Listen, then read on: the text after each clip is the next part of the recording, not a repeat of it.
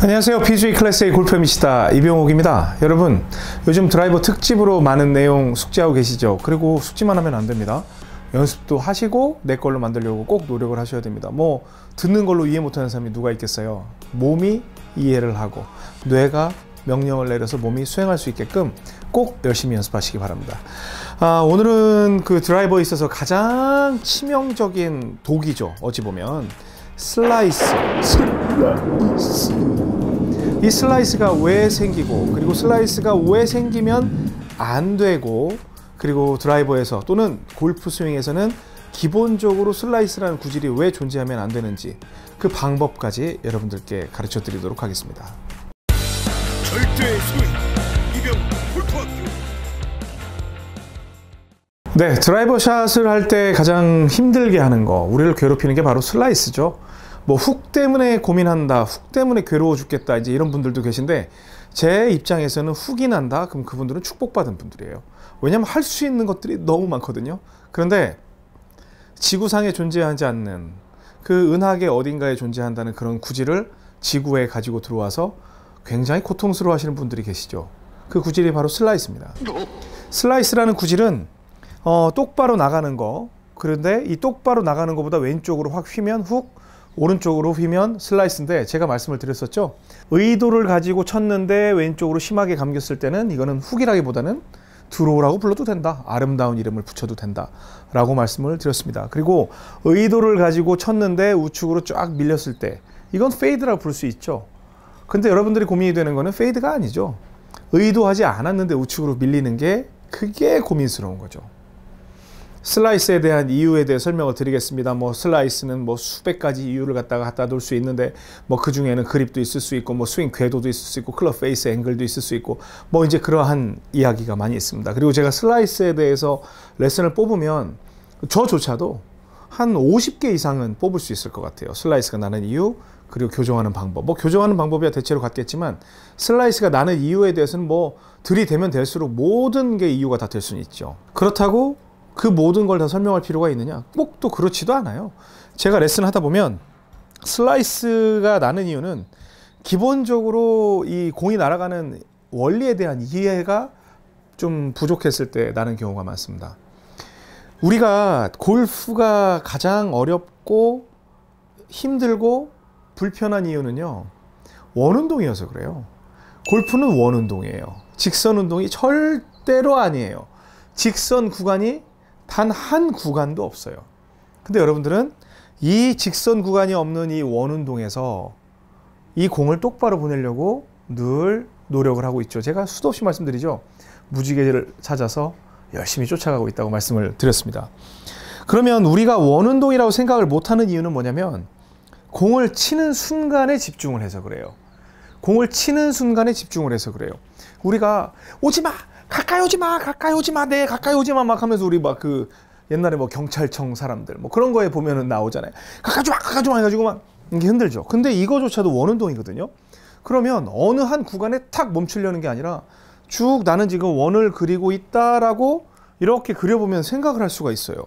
그래서 이 드라이버를 칠 때 어떻게 나가건 간에 나는 원을 그리고 있다라고 생각을 하는 거예요. 지금 공을 친다라는 생각보다는 이러한 원을 그리고 있다라는 그러한 생각을 했어요. 그냥 나는 원을 그리고 있다. 물론 여기서 뭐 side blow도 하면서 이렇게 해서 원을 그리고 있다. 라고 했더니 공이 이제 왼쪽으로 쭉 감기죠. 왜냐하면 저는 오늘 설명드릴 내용을 할 수 있기 때문에 그래요. 그러면 원운동이라는 그 첫 번째 원리를 이해를 했어요. 그럼 원운동이 시작이 되면 발생하는 건 원심력이라는 단어가 등장을 해요. 원심력이라는 단어는 뭐 물리학자분들이 굉장히 여러 가지 설명을 합니다. 뭐 원심력은 뭐 관성력이다 뭐다 뭐다 뭐 이런 이야기들을 하는데 뭐 어렵게 생각하지 말고 우리가 흔히 일상생활에서 이해하고 있는 방식으로 설명을 드릴게요. 그냥 이렇게 돌면 밖으로 튕겨 나가려는 그 성질이 생기잖아요. 그렇죠? 그래서 우리가 아이들을 자꾸 막 이렇게 돌리면 아이들이 저쪽으로 막 바깥으로 튀겨 나가려고 하는데 아이들이 튕겨 나가지 않는 이유는 내가 그만큼 꽉 잡고 있기 때문이죠. 그리고 자동차를 탈 때도 여러분들이 그 뭐 초보 드라이버라든지 아니면 직구준 그 운전하는 친구들이 가다가 좌회전을 확 틀면 조수석에다가 헉 이렇게 해가지고 그 창문에 머리를 찍기도 하고 그러잖아요. 그리고 뭐 우리 퀵 아저씨들도 계시고 바이크를 타시는 분들은 이게 곡선 주로를 달리다 보면 여기에서 딱 그냥 곡선을 타면요 밖으로 다 튕겨 나가요. 그러니까 안 넘어지려고 그 경사와 속도에 맞춰서 내가 숙입니다. 그게 원심력과 구심력이에요. 원심력은 바깥으로 나가려는 가상의 힘이고 구심력은 내가 만들 수 있잖아요. 내가 그쪽으로 나가지 않기 위해서 나는 몸을 기울인다거나 아니면 클럽 페이스를 숙인다거나 이러한 보상 동작을 반드시 요구하는 게 골프예요. 근데 여러분들은 어떤 걸 강요받냐? square 페이스라는 걸 강요받아요. 제 입장에서는 말도 안 되는 소리예요. 골프공을 칠 때 square로 친다? 물론 경지에 올라 있는 선수들은 square 페이스를 칠 수 있어요. 근데 그 square 페이스가 square 페이스가 아니에요. 돌아오는 과정에서 엄청난 회전을 하고 있는 그 과정에서 square로 맞고 바로 돌아 덮어하는 오다가 쭉 열린 상태에서 오다가 square로 맞고 빨리 덮여 들어가는 엄청난 속도 속에서 딱 한 사진 스틸 컷 하나가 square 포인트예요. 근데 여러분들은 선수들과 다른 점이 뭔지 아세요? 선수들은 여기서부터 막 뒤집고 뒤집고 와가지고 여기서 square 치고 또 빨리 정신없게 덮어야 되는데 이 한 컷을 위해서 스윙을 한다고 해도 과언이 아닌데 여러분들은 이 한 컷을 위해서 뒤에서부터 square square square square square square 이거를 여기 만드는 게 자신 없으니까 계속 square square square square square 하다가 원심력이라는 성질을 잃고 결국에는 공을 바깥으로 밀어낼 수밖에 없는 그러한 실수를 계속 범하고 있어요. 어느 정도 이해가 되시나요? 자, 그러면 내가 여기에서 잘 보셔야 돼요. 여기서 그 광경이 나올지 모르겠습니다만 이 공이 제가 아이언으로 한번 해보겠습니다. 아이언으로 지금 이 공을 제가 데리고 다닐 거예요. 데리고 다닐 건데 여러분들 그 제가 뒤로 돌았을 때 안 보이지만 이 공을 그대로 square 페이스로 돌면 그냥 이쪽으로 도망가 버립니다. 그런데 이 공을 내가 데리고 계속 원으로 다닌다고 이렇게 생각을 하면 보세요. 지금 클럽 페이스가 어디를 보고 있는지 제 제 쪽을 보고 있죠? 제 쪽을 보고 있어요. 제 쪽을 보고 있어요. 제 쪽을 보고 있습니다. 지금 이 보세요. 이 공이 안 나가게 하기 위해서 실제로 이 공한테 적용된 클럽 페이스 모양은 이런 모양이라는 거예요. 못 도망가게. 더 빨리 돌면 만약에 제가 천천히 돌면 이렇게 해도 되겠지만 제가 더 빨리 돌면 요만큼을 돌려서 제 쪽을 바라보게 해야 공이 바깥으로 도망가지 않겠죠. 이러한 원리를 생각을 한다면 처음에 여러분들이 골프를 배우는 입장 또는 어, 특출난 전문가가 아니라면 일단 처음에는 이 원운동이라는 거에 대해서 이해를 하고 그리고 공을 칠 때 공을 왼쪽으로 감아치는 거를 먼저 습득을 하셔야 돼요. square로 때리는 게 아니라. 그래서 공은 여기에서 내가 그냥 조금만 정신 놓고 square라는 걸 생각을 하고 치면 이렇게 튀어나가는 거예요. 왜? 나는 돌고 있는데 몸은 열심히 돌고 있는데 왜 손이 안 도와주냐는 거예요. 나는 몸은 열심히 돌 네가 돌으라고 해서 열심히 돌아서 난 힘을 만들어내고 있는데 아, 네가 운전을 하는 거면 그 위에서 핸들 조작을 좀 잘해줘야 될 거 아니야. 그래야 차가 똑바로 갈 거 아니야. 지금 다 오른쪽으로 사고 나잖아. 그런 거죠. 그러면 제가 그때 생방 그 실시간 스트리밍에서 한번 설명을 드린 적이 있었는데 어, 골프를 하는 데 있어서 가장 여러분들에게 재앙스러운 그러한 어, 레슨은 코킹이란 말씀을 드린 적이 있어요. 이게 뭔 소리냐 또 그럴 텐데 코킹은 굉장히 이 선과 악이 있어요. 코킹은 제가 이제 코킹에 대해 설명을 드리겠지만 코킹을 하잖아요. 그러면 여기까지 숙이고 들어오다가 코킹을 하는 순간 이 클럽 페이스가 뒤집어져요. 그러면 정말 잘 치는 사람에게는 이 코킹이라는 건 선이에요. 왜냐하면 뒤집었기 때문에 이게 감을 수 있는 힘을 훨씬 더 많이 만들어줘요. 이렇게. 근데 익숙하지 않은 분들에게는 이 코킹을 하잖아요. 그럼 코킹을 하면 열려서 공이 우측으로 밀릴 수밖에 없는 그러한 굉장히 악의 역할을 해요. 그러면 어떻게 내가 그 내 스윙을 슬라이스를 내지 않기 위해서 발전을 시켜야 되느냐? 제가 이미 보여드렸잖아요. 클럽 페이스도 덮고 올라가서 덮고 두는 거예요. 계속 덮는 거예요. 그러면은 이런 스윙 동작에 대해서는 한 번도 들어보지 못하셨겠지만 드라이브 특집이잖아요. 그래서 여러분들께 알려드리는 거예요. 자, 보세요. 클럽 페이스를 그냥 숙이고 올라가세요. 그리고 여기에서 하프 스윙까지 오면 뒤집어야 되죠. 근데 계속 그냥 숙이고 계세요. 근데 하프 스윙까지는 여러분들이 인식을 하더라도 그 다음부터는 그냥 드세요. 뭐 손이 이렇게 됐건 여기에서 또 이제 그러한 단어가 등장할 거예요. 아 그럼 이병호 프로 hinging 스윙 하라는 건가요? 힌징이고 뭐고 그게 뭐가 그렇게 중요합니까? 그리고 힌징에 대해서 알면 또 그렇게 할 수 있을 거예요? 어? 좀 그냥 좀 쉽게 생각 좀 하자고요. 그냥 숙여 숙이세요. 이렇게 클럽 페이스를 바닥을 보고 숙이게. 우리 탁구 칠 때도 아 이거 이러면 안 되는데 다 나오는데 탁구 칠 때도 처음에 초보자들한테 숙이고 숙이게 하죠. 왜냐하면 원심력으로 공을 뺏기지 않게 하기 위해서. 그래서 그냥 숙이세요. 숙이고 숙인 상태로 치세요. 그럼 공이 이런 식으로 돌 거예요. 그리고 클럽 페이스는 어떻게 맞아야 되냐면 여러분들이 어떠한 생각을 해야 되냐면 제가 말씀드렸어요. 평생 이렇게 치는 게 아니에요. 지금 슬라이스에 대한 레슨을 하고 있어요. 다시 왜 무슨 왜 저런 얘기하지? 그런 생각하시면 안 돼요. 지금 저는 슬라이스에 관련된 얘기를 하고 있어요.